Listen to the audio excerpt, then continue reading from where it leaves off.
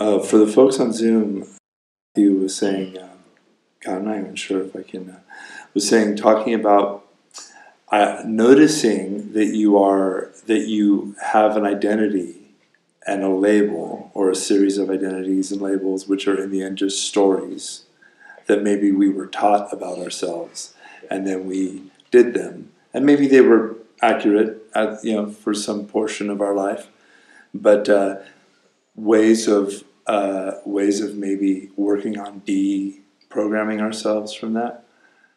Uh, it's just like any habit. You know, the very first thing you have to do is notice you're doing it, which is what makes it so insidious. This is the thing about self view. It's funny. Uh, you know how much the Theravada tradition loves their charts and lists and graphs. So, believe it or not, they have a graph for this. And all of the kileshas, which is an ancient Pali word meaning basically psychopathologies, like all the ways we make it weird for ourselves and people around us. So they have this list, right? And so they've breaking, broken it down into, and, and just let me say, just because you made a map, don't mean that's how it go for everybody. But, you know, nice map. Um, but the interesting thing about the old man when he was talking about the different kinds of kileshas, the different kinds of psychopathologies that we often have.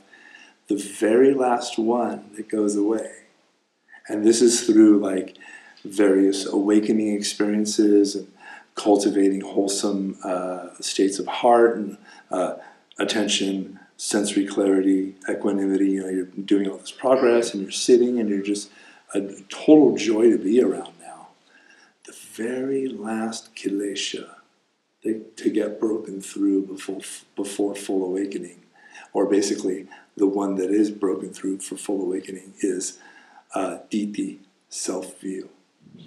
So the stories that we have about ourselves. And sometimes we substitute one story for another. Like we start off with, I'm a really stressful, angry jerk. And then we come to meditation class and I'm like, well, I used to be a stressful, angry jerk, and now I'm not like that all the time. Maybe I'm a really good person now, and I'm always calm, and I always do the right thing. And you're just swapping out, to use the ancient terminology, you have exchanged uh, chains of iron for chains of gold. This path is a path of breaking through any and all conceptual chains. And resting again and again, coming back again and again to the awareness that is already always present. So, the basic, just like to bring it back to what I said for habit, just like any habit, you have to notice you're doing it. And just notice when you're telling a story, sorry, and I should notice when I'm telling a story about myself. And just just stop there just even be like, you're doing that thing.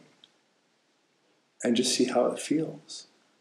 You know, to quote Ajahn Chah again, he says 70% of the spiritual path is doing a thing, making it weird, and I'm paraphrasing, doing a thing and making it weird and knowing just on the other side of that is peace. Just right there is joy. It's right there if I could just let go. So, getting real intimate with that way that we kind of cheat ourselves, the way we get caught and tell ourselves these stories that we reinforce, um, and the way we cause suffering for ourselves in that way. Even just getting intimate with that, it goes a long way towards what you're asking. So, it's almost like, how do I get to the end of this road? It's like, learn every inch. And that's like the first part. It's just being like, oh, I'm telling myself a story and just see how that and, and maybe even notice am i am i avoiding something?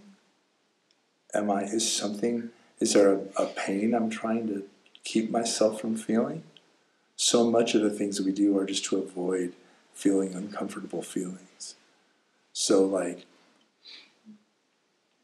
yeah like me uh, deciding i was going to grow up and be a big strong man to protect myself like I needed when I was young. And so I told this story about myself. And it's just a story. It has no reality. And if it causes suffering, it needs to go. So Yeah, just notice, catch yourself, and catch yourself doing good too. Catch yourself, you know, not all stories. Stories are just stories. They can be useful. You might have a story about yourself that you are a responsible adult, and you get to go be a responsible adult, and that's great. It's very wholesome, very skillful. But just remember, it's a story. Thank you. Great question. All right.